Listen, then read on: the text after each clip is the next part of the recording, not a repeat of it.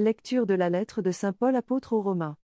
Frère, si de ta bouche, tu affirmes que Jésus est Seigneur, si, dans ton cœur, tu crois que Dieu l'a ressuscité d'entre les morts, alors tu seras sauvé.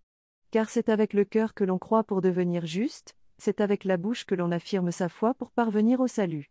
En effet, l'Écriture dit, Quiconque met en lui sa foi ne connaîtra pas la honte. Ainsi, entre les Juifs et les païens, il n'y a pas de différence, tous ont le même Seigneur, généreux envers tous ceux qui l'invoquent. En effet, quiconque invoquera le nom du Seigneur sera sauvé. Or, comment l'invoquer, si on n'a pas mis sa foi en lui? Comment mettre sa foi en lui, si on ne l'a pas entendu? Comment entendre si personne ne proclame? Comment proclamer sans être envoyé? Il est écrit, comme ils sont beaux, les pas des messagers qui annoncent les bonnes nouvelles. Et pourtant, tous n'ont pas obéi à la bonne nouvelle. Isaïe demande en effet. Qui a cru, Seigneur, en nous entendant parler?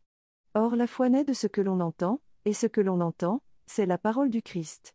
Alors, je pose la question, n'aurait-on pas entendu? Mais si, bien sûr. Un psaume le dit, sur toute la terre se répand leur message et leur parole, jusqu'aux limites du monde. Parole du Seigneur.